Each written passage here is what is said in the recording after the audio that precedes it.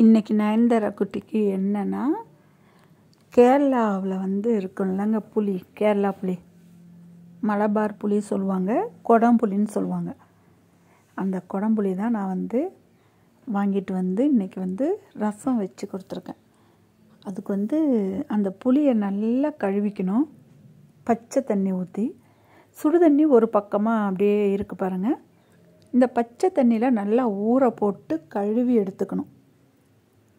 நல்லா கழுவணும். ஒரு ரெண்டு தண்ணி மூணு தண்ணி ஊற்றி நல்லா கழுவணும். நான் ரெண்டு தண்ணி ஊற்றின பிறகு தான் இப்போ வந்து உங்கள்கிட்ட மூணாவது தண்ணிக்கு தான் காமிக்கிறேன். இப்போ நல்லா கழுவிட்டேன் பாருங்கள் இதுதான் குடம்புளி ரொம்ப டேஸ்ட்டாக இருக்கும் இந்த குழம்பு ரசம் துவையல் எல்லாமே. ரொம்ப நாள் கழித்து இன்றைக்கி தான் நான் இந்த வந்து குடம்புளியை பார்த்துருக்கேன். ரொம்ப நாள் கேட்டுக்கிட்டே இருந்தேன் ஆனால் எனக்கு கிடைக்கல. இன்றைக்கி ஏதோ ஓரளவுக்கு கிடச்சிது. அதை அப்படியே அந்த சுடு தண்ணியில் கழுவி எடுத்து போட்டுடணும். அது பாட்டுக்கு ஊறிட்டு இருக்கட்டும். ஒரு மணி நேரம் அரை மணி நேரம் நல்லா ஊறட்டும். ஊறுனுச்சுன்னா புளி வந்து நம்மளுடைய தமிழ்நாட்டு புளியை விட நல்ல புளி அதிகம். ஊறட்டும். அப்படி இருக்கட்டும். இப்போ பீட்ரூட் இருக்குது பாருங்கள் வெங்காயம் பச்சை மிளகாய் தக்காளி கொத்தமல்லி கருவேப்பிலை பச்சை மிளகாய் எல்லாத்தையும் அப்படியே எடுத்து வச்சுக்கலாம்.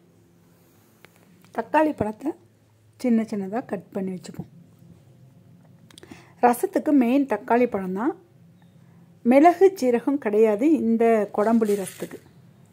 கொஞ்சமாக துவரம்பருப்பை நல்லா வறுத்துக்கலாம். கொஞ்சம் துவரம்பருப்பு நல்லா வறுத்த பிறகு கொஞ்சமாக கொத்தமல்லி. கொத்தமல்லியை கொஞ்சம் போட்டு நல்லா வறுத்துக்கலாம். ரெண்டுமே அப்போ தான் பொன்னிறமாக இருக்கும் பாருங்கள் ஃபஸ்ட்டு துவரம்பருப்பு நல்லா பொன்னிறமாக ஆன பிறகு தான் நம்ம கொத்தமல்லியை போட்டு நல்லா வறுக்கணும். ரெண்டும் நல்லா சரியாக அப்படியே வறுந்து வந்துருச்சு பாருங்கள் ஒரு மண் சட்டியில் கொஞ்சம் எண்ணெயில் வடவத்தை போட்டுக்கலாம். அது கூட இன்னொரு மண் சட்டிக்குள்ளே கொஞ்சம் எண்ணெயை ஊற்றிக்கலாம் வடவம் போட்ட மண் சட்டியில் வெங்காயம் பச்சை மிளகாய் கருவேப்பிலை போட்டு நல்லா வதக்குவோம். நல்லா வதக்கிக்கிட்டே இருக்கும்போது இந்த மண் சட்டியில் என்ன போட போகிறோம்னா நான் பீட்ரூட் தான் போட போகிறேன் நான் பீட்ரூட்டு எறாவும் போட்டு தான் போட போகிறேன் இப்போ பீட்ரூட்டை அப்படியே எடுத்து கொட்டிடுவோம் பார்த்தீங்கன்னா கொட்டியாச்சு. நல்லா சீவிட்டேன். சின்ன சின்னதாக வந்து நான் கட் பண்ணல. நல்லா அப்படியே சீவரக்கட்டை வச்சு சீவி எடுத்துட்டேன். ஏன்னா ஈஸியாக வெந்துடும்ல அதனால். இப்போ இது அப்படியே ஒரு ஆவி போட்டு கலக்கி அப்படியே எடுப்போம். நல்லா கலக்கும். வெங்காயம் பச்சை மிளகாலாம் மேலே வரட்டும். நல்லா கலக்கின பிறகு அந்த மண் சட்டிக்குள்ளே கடூழ்த்தம் கொஞ்சம் வெந்தயமும் போட்டு நல்லா பொரிஞ்ச பிறகு மூணு காஞ்ச மிளகாயை அப்படியே சின்ன சின்னதாக கட் பண்ணி போட்டு ஒரு பெருங்காய கட்டியும் அதுக்குள்ளே போட்டு தோல் உரிக்காத பூண்டை நல்லா தட்டி போட்டுருவோம். நல்லா அப்படியே வதக்குவோம். நல்ல வாசனையாக இருக்குது கொஞ்சமாக கருவேப்பிலை போட்டுக்கலாம். நல்லா வதக்கி எடுத்த பிறகு கொஞ்சம் மஞ்சத்தூள் போட்டுக்கலாம். தக்காளி பழம் ஒரு மூணு தக்காளி பழம் சின்ன சின்னதாக கட் பண்ணி வச்சுருக்கேன். அந்த மூணு தக்காளி பழத்தையுமே போட்டு நல்லா வதக்குவோம். தக்காளி பழம் போட்ட பிறகு தான் ரசத்தோட வாசனையே வருது. அது மூணு தக்காளி பழம்னா என்ன? சும்மாவா? ரசனாலே தக்காளி தானே. அதனால் செம்மையாக இருக்குது இப்போ பீட்ரூட்டு வந்துட்டு இருக்கு பாருங்கள் அழகாக வெந்துடுச்சு. அப்படியே மூடி போட்டுருவோம். தக்காளி பழம் நல்லா வதக்கி எடுப்போம். இப்போ குடம்புளி நல்லா ஊறிட்டுருக்கு இறா கழுவி எடுத்து அழகாக வச்சுட்டேன் பாருங்கள் அப்படி இருக்கட்டும். இப்போ பீட்ரூட்டை வந்து திறந்து பார்ப்போம். நல்லா வெந்துடுச்சு. ரெண்டு கிளறு கிளறுவோமா? அப்படியே கிளறி எடுத்து நல்லா ஆவி பறக்குது பாருங்கள் இதுவே நல்லா தான் இருக்குது பார்த்தாலே சாப்பிட்ணும் போல இருக்குது இன்னும் வந்து இந்த எறா போட்டோம்னா செம்மையாக இருக்கும் பாருங்கள் அப்படியே எறாவை நல்லா கழுவிக்கலாம். பீட்ரூட் நல்லா வெந்துடுச்சு. அது கூட எறாவை தூக்கி போட்டுருவோம். இவ்வளவுதாங்க. சூப்பராக இருக்குது யார் யார் இந்த மாதிரி பீட்ரூட் கூட எறா போட்டு சாப்பிட்ருக்கீங்கன்றத கமெண்ட் பாக்ஸில் கண்டிப்பாக சொல்லுங்கள்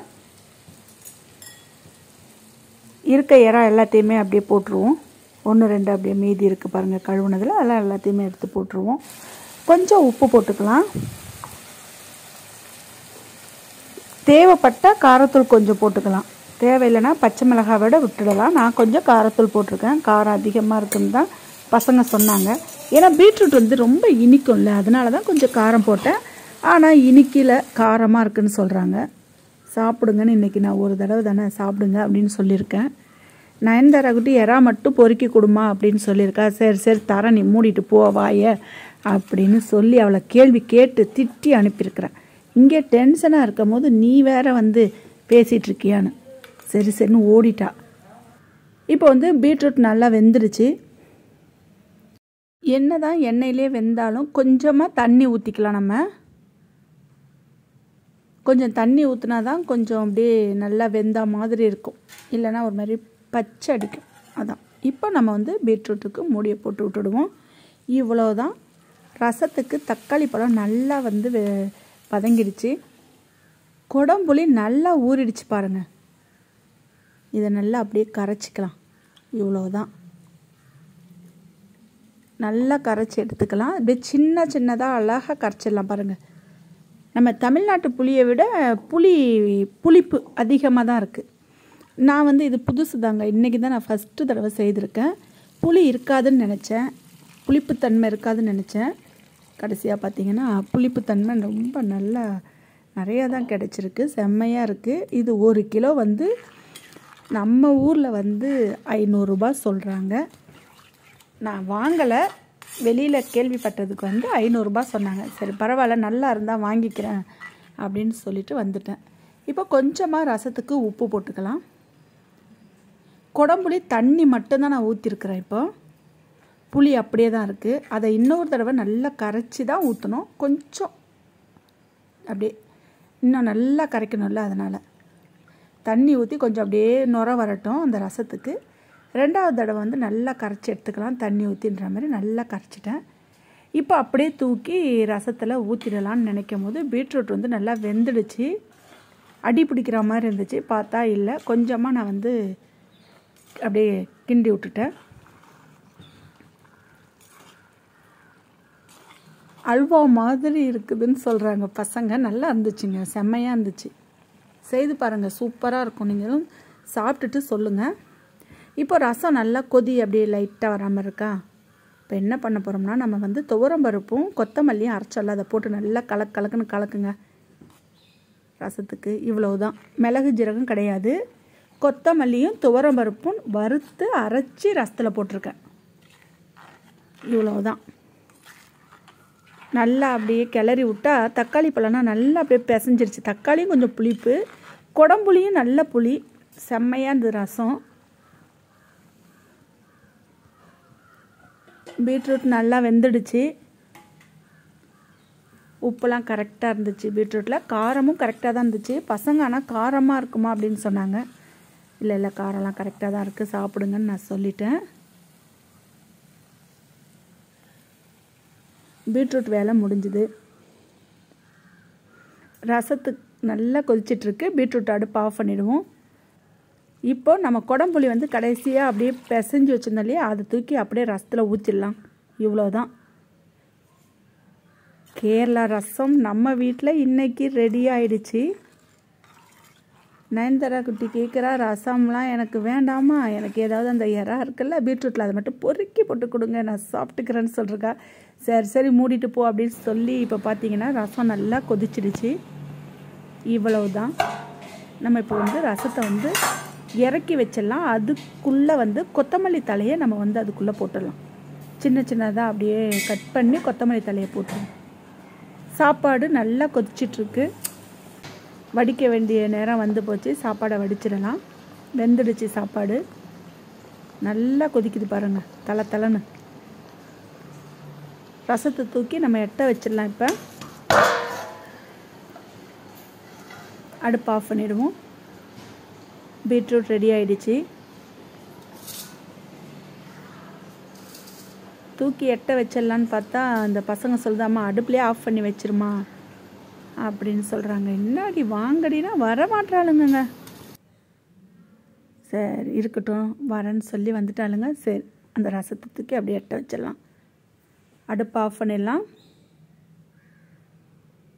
மண் சட்டியோட ஒரு மகிமையே என்னென்னா ஒரு அஞ்சு நிமிஷம் கொதிச்சிட்டே இருக்கும் அந்த குழம்பு. தூக்கி எட்ட வச்சிட்டாலுமே. அதுதான் பார்க்கவே அழகாக இருக்கும்.